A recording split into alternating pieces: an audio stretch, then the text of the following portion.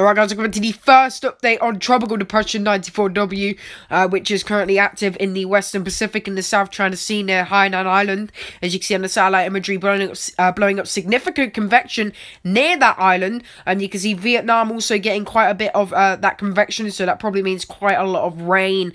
Um, as you can see, um, it is looking decent right now, and it could develop in the next few days as it moves towards China. In fact, it is expected to develop in potentially into around a 50 mile per hour hour storm before making landfall into China, um, and it could potentially reform on the other side, um, maybe out into the um, near the, tai- uh, the near the Taiwan area. But we'll have to see how that happens um, as it comes along. But we are likely to see a tropical storm out of this officially uh, as it moves towards China.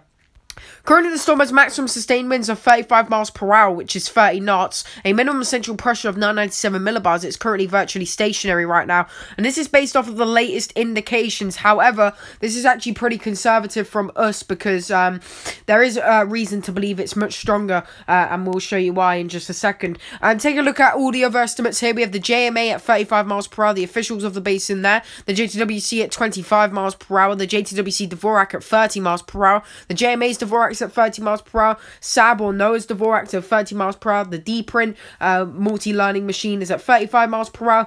Um, buoys um, near the storm are capturing 45 mile per hour winds. And our WCSC analysis is at tropical storm, mainly based on these buoy data. We have um, we have broken uh, we have broken our usual um, things that we do, which is usually with satellite imagery. Um, but we are using buoy data as of this time, as it seems to be uh, showing the most reliable data and the most reliable reliable winds coming out of the storm, which could be as high as 45 miles per hour right now, likely suggesting that this is a tropical storm system. Um, here is our latest update as of 2100 UTC. This is based on our preliminary analysis, so this is subject to change. Um, we'll see how this happens. We have Ewiniar still active. It's a remnant low now. Um, it is still a tropical storm force remnant low. The pressure 998 is currently located at 32 north, 139 east. And 94W, we're listing as a TS with a pressure of 997 millibars. Um, and it's at, located at 17 north, 113 east. Um, so we'll see how this evolves. I doubt it's going to get above TS status. Um, however, we're likely seeing we're going to see that pressure drop. I wouldn't be surprised into the mid 990s, um, but we'll see how that evolves um, over time here.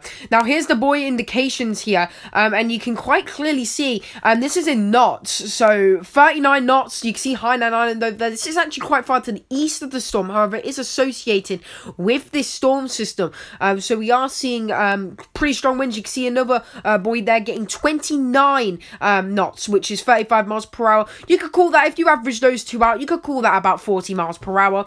Um, but that one there, 39, which is 45 miles per hour. Pretty significant reason to believe that this is a tropical storm system um, currently right now in terms of the strength of the winds. It could weaken, um, but that those are in one minute sustained winds, those buoys. So um, we're likely going to be seeing a, a, tropical storm, or we are seeing a tropical storm right now based on the Boyd data. Um, take a look at the JMA forecast cone. As you can see, very very weird cone. Um, it's mainly because the JMA's website doesn't have like a good cone to copy, so I'm just using windy.com with uh, the hurricane tracker labeled over it. And you can see they're expected to reach around 45 miles per hour and a pressure of 996 millibars for a landfall near Hong Kong, west of Hong Kong, and they're moving inland, um, weakening down to a pressure of 1002 milli- uh, hectopascals or millibars, however you want to call it, by Saturday, and it dissipates inland. We'll see how that evolves. Um, I won't be surprised if this uh, is right, um, but we'll have to see how that happens um, when it starts to occur. Um, here's the HAFS operational wind swath here. Um, you can see not higher than 50 knots expected along the first landfall in China, but you can see it does really develop it again east of Taiwan, um, near Japan. Now, I wonder if it's extra tropical at this point. Some models have been pointing out that um, it wouldn't be fully tropical at this point.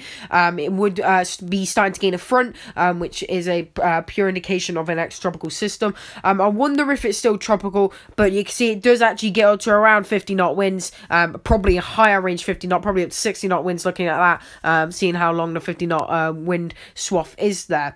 Um, here's the rainfall. You can see Hainan Island could be getting a lot, up to 16 inches. Parts of Taiwan, if this forecast is to be believed here, could be getting up to 4 inches.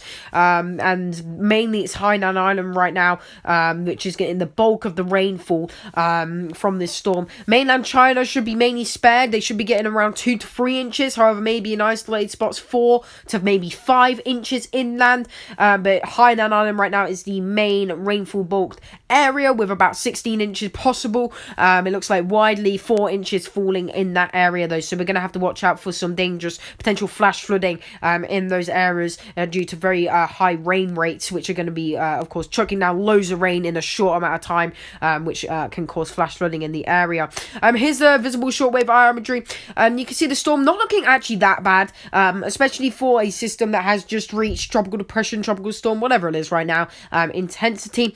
Um, you can see, you kind of see that center of circulation underneath the convection, the big convection block there. Um, it's definitely organizing at a pace, um, and we're likely going to be seeing a tropical storm making landfall in parts of China um, over the next few days, um, but we'll see how that materializes as it comes to it. Um, it is still possible that this doesn't develop at all, but it is a very low chance now um, since it has organized so well in the South China Sea, um, and we're likely going to be seeing a tropical storm out of this. Here's a zoomed out imagery here, and um, you can quite clearly see though uh, the storm looking very good on that front um, as well. And like I said, those buoys capturing winds potentially as high as 45 miles per hour.